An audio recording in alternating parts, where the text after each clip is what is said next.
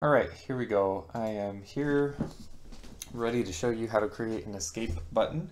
For that, I've created a blank project. There's nothing here. Um, I just click new, typed escape button project uh, so that we can start from scratch. And that way um, you'll have everything you need to know. So as you can see, there's nothing in the game, nothing in the scene. We only have main camera, directional light.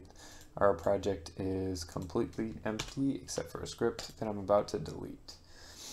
So we have, um, we want to put in two buttons, one for escape, one for restart. The escape button is going to cause our game to quit. That lets the player quit out of the game whenever they want instead of having to Alt F4 like restart their device, something like that. Restart will let them restart the level so that they can try again if they fail. So we want to add two UI elements, both of them buttons you can add game object UI button twice or you can duplicate. We want to place them in the center. Uh, so you're going to press Alt Shift and then left click right over here to anchor. And we'll do that for both buttons. So I'm just left clicking this by the way. And you want to rename your buttons to match what they're supposed to do. So we'll rename this escape and rename this one restart. Now currently they're overlapping and that's not going to help our player very much. So let's go ahead and translate this. Um, the total width is 160, so I want to go more than half of that width to the right and then more than half of that width to the left for the other button. So after doing that, um, I can clearly see both buttons. I want to change my escape text to escape text. I'm just renaming it and then inside the text, I'll name that quit game so the player knows what they're doing when they press that button. I'm going to go to the other button, call this um, restart text, and then restart level question mark, keep it consistent. I want to make sure that these are in, yeah, I'll put in overflow mode on both of those. Not too important because those are kind of small fonts, but just in case. Now we're going to do the rest of this. Right now the buttons are activated, but I don't want them to be active all the time, so I'm going to disable both of these buttons. Now they don't appear. Now scripts do not um, work on an inactive object. So what I want to do is create an empty object, something that won't actually be in the scene to hold our script. We'll call this escape menu manager.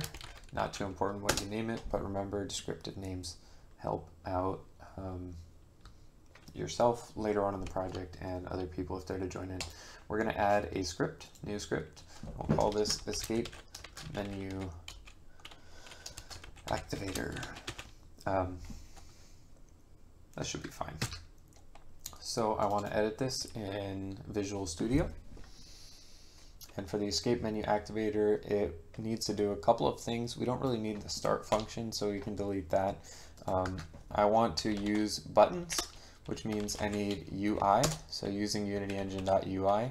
By the way, if I go too fast during any point in the video, feel free to pause it. You guys do have that power. I'm also going to use unityengine.scene management because I want to be able to restart the level that I'm currently on. So we need to create a couple of variables here. Um, first one's a button for the escape button, and the second one is a button for the restart button. And we also need a bool for um, escape menu open. We want to know if it's open or closed. So by default bools are false, which means it is not open. And then if we set it to open, that'll say it is open. So in update, we want to check if the escape menu is currently open. So we'll say if escape menu open, and that would be good enough, but we'll be more descriptive here. We'll say if it is open, actually it's if it's not open, we want something to happen. And then um, let's go back a bit. We also want to have an else clause for whenever the escape menu is actually open. want something to happen. So when the user presses escape, we want them to open up the escape menu if it's not open, and we want them to close the escape menu if it is open.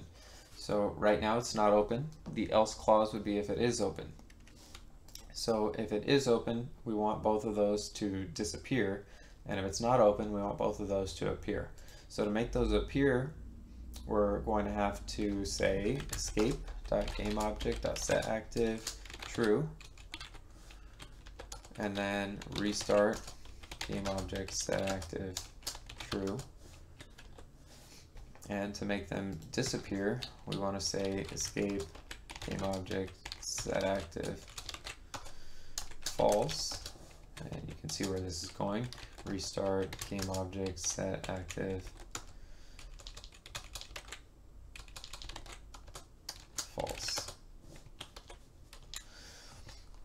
Okay, um, we need to check if the user pressed escape. So we're going to do input get key, get key down,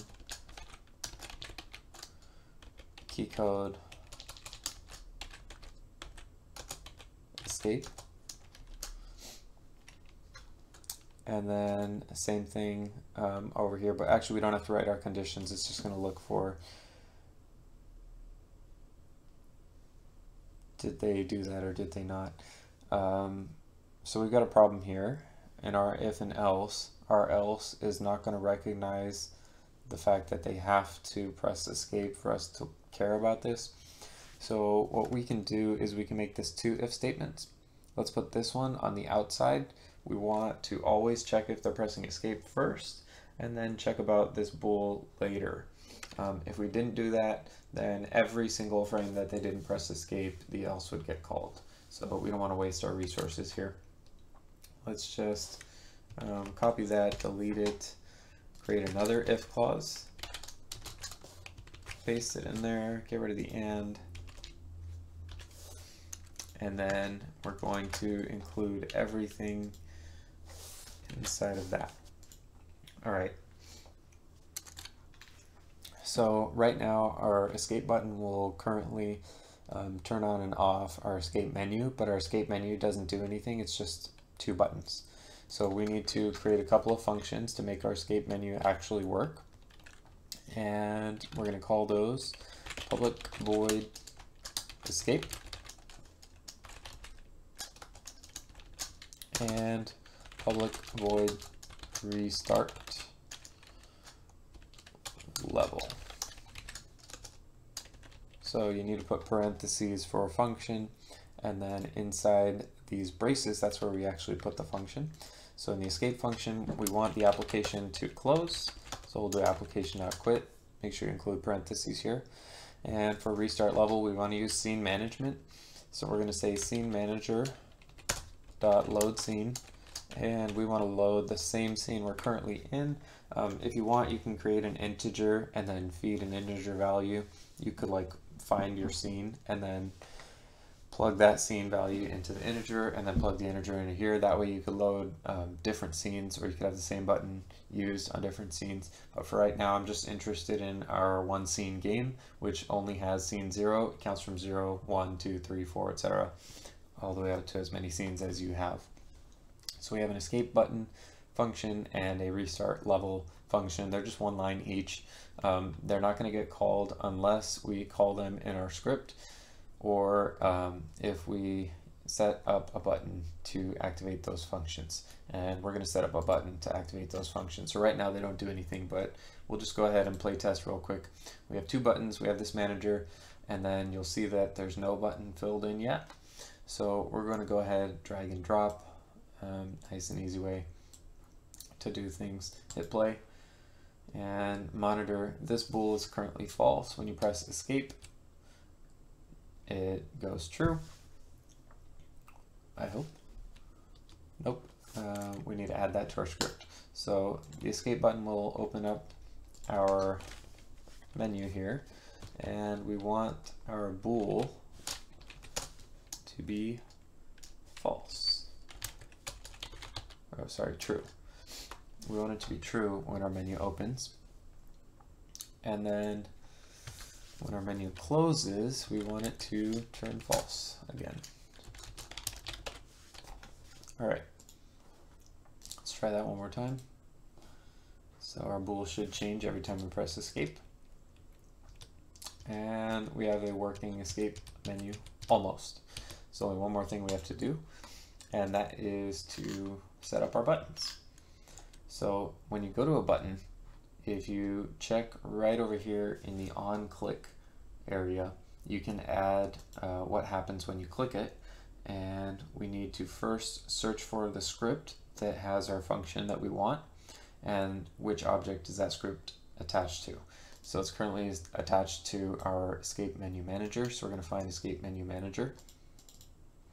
And then if you look within the escape menu manager, it'll show all of our components here. So we've got the escape menu activator script and we're going to find escape.